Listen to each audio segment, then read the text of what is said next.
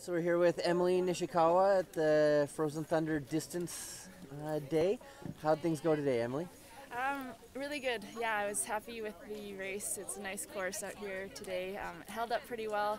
One of the hills got a little uh, sugary, so that was uh, good practice to ski in deep, deep snow. But um, yeah, I felt good and I was happy with the way I skied today.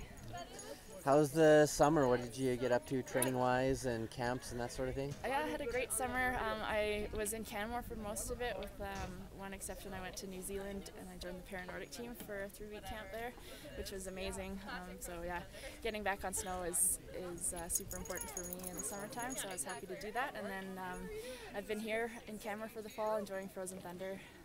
Nice. Yeah. How was the skiing in New Zealand? Uh, New Zealand's incredible. We had um, probably the best conditions they've had there in like 10 years. So uh, we were really spoiled with the conditions, and they opened up all the trails. And so yeah, pretty amazing to ski there. And what's next for you now coming up?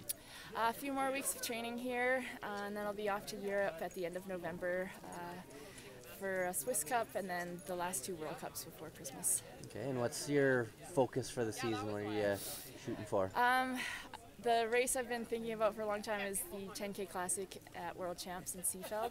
So that's my the biggest target. Um, as well, the, the finals in Quebec City are going to be amazing events. So I'm really excited for that. Yeah, no kidding. What are the events at the finals this year? Uh, sprint and then a two 10Ks. Um, so mass start and then a pursuit start. Nice, so yeah, that'll be super fun. Good races for you. Yeah. you bet.